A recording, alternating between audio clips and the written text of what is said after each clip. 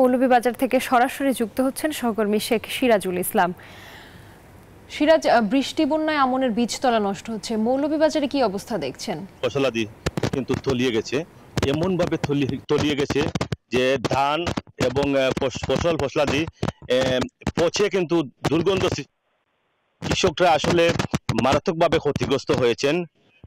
মারাত্মক ক্ষতিগ্রস্ত হয়েছেন। আমি আপনাদেরকে দেখাবো জেলায় আসলে কি অবস্থা। হয়েছে। ভয়াবহ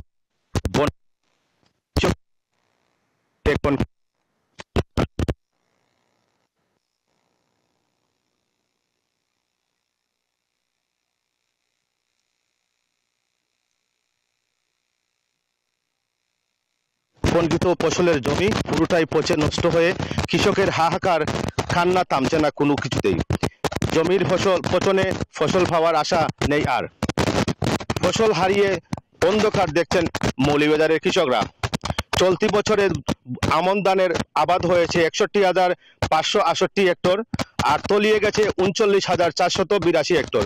বন্যায় একেবারে নিঃস্ব কৃষকরা। আমরা এখানে কথা বলব কয়েকজন কৃষকের সাথে।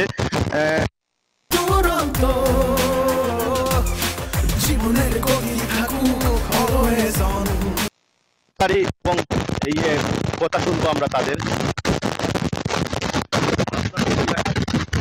জমিগুলা কি অবস্থা? আমরা এলাকার ফসল জমিগুলো আমরা খুব ঋণ করিয়া শুধু করে টাকা আনিয়া খেত কিছু করছিলাম।